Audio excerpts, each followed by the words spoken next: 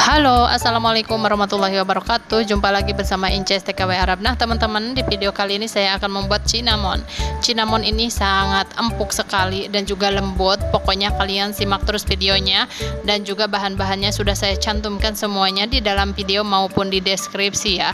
Semoga bermanfaat dan jangan lupa untuk klik komen and subscribe ya channelnya Inces TKW Arab. Nah bunda ini satu kaleng terigu ini sama dengan 3 gelas tepung terigu ya. Satu cangkir gula pasir 1 SDM Hamirah ragi instan. Kemudian 1 sendok teh aja baking powdernya. Kemudian 2 sendok makan susu bubuk. Setengah sendok teh garam. Setengah cangkir minyak atau 3 sendok makan. Kemudian untuk airnya ini saya pakai air dingin. Benar-benar air es. Dan ini uh, kasihnya itu sedikit demi sedikit ya. Sampai benar-benar kalis banget Nah teman-teman dan ini hasilnya sangat kalis banget kalau sudah benar-benar bagus dan tidak lengket lagi di tangan. Berarti itu tandanya sudah bagus. Ini akan kita tutup kemudian istirahatkan selama satu atau dua jam. Ditunggu hasilnya. Dan ini setelah satu, satu jam lebih ya aku. Kemudian kita kempeskan biar nggak ada gelembung di dalamnya. Dan ini akan saya buat bulat-bulat. Saya jadi empat bagian seperti ini ya bun dan kita siapkan ini untuk di atasnya untuk nanti ditaburi. Ada 4 sendok gula merah kemudian ada satu sendok teh aja kayu manis bubuknya dicampur diaduk gitu. Ini untuk topping nanti di tengahnya ya yaitu di atas adonan. Oke teman-teman ini sudah saya taburi dengan terigu. Kita pipihkan jangan terlalu tipis dan juga jangan terlalu tebal. Seperti ini ya kemudian ini diolesi pakai margarin ataupun pakai minyak kalau tidak ada margarin. Kemudian untuk di atasnya ini gula merah sama yang tadi kayu manis bubuk itu dicampur kemudian ditaburi di atasnya.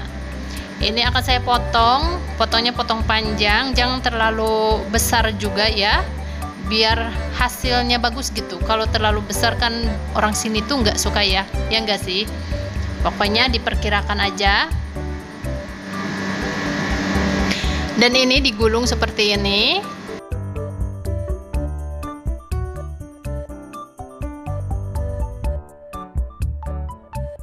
Tuh kan bun jadi lebih rapi cantik. Jadi nggak black potan tuh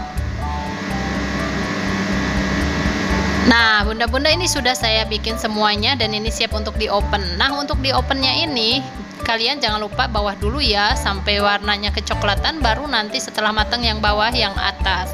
Sebentar aja nggak harus lama sekitaran 5 menit gitu. Ditunggu hasilnya. Nah bunda-bunda ini dia hasilnya. Sudah matang. Tararara. Tuh kan empuk banget.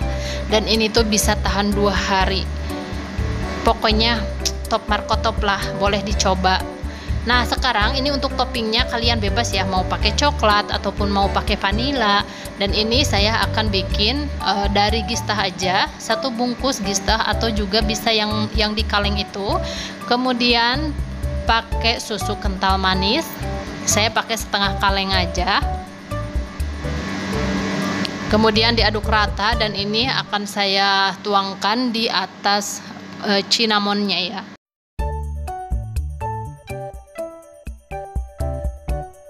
Oke, bunda-bunda. Dan ini sudah selesai. Sudah saya kasih topping semuanya, tinggal disajikan.